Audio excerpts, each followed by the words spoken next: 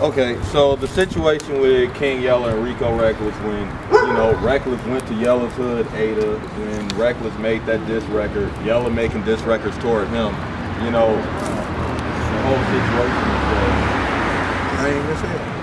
right, everybody, Goofy as hell.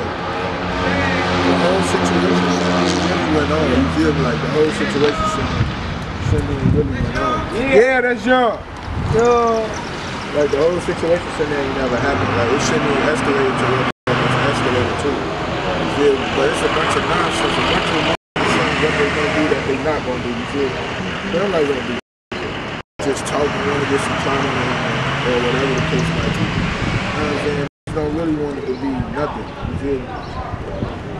so what's your relationship with both of the individuals, like your friendship with Yella and your friendship with Rico? Some for real, I, I, f- with, I f- with Rico. You feel me? Don't get me wrong, I f- with him. But at the same time, you gotta think about it, like Yella and Billy, like these who I hang with at, damn near every day. They're your brothers, You baby. feel me? Like these my brothers. You feel me? Like you think I'm gonna let something happen to them? I'd be crazy.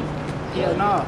They finna ask who walked So if a situation finally does ever happen where Yella has to approach Rico or Rico approaches Yella, then you will step involved. You Of will. course I will.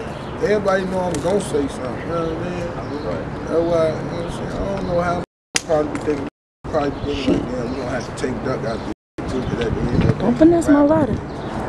But you a Capricorn. I, I wish we would play with you. know what I'm saying? Like, we gonna slide every day until it non-stop. I promise you, we gonna pull up three, at least three times a day. I'm saying this shit on camera 'cause I'm that serious. Now it would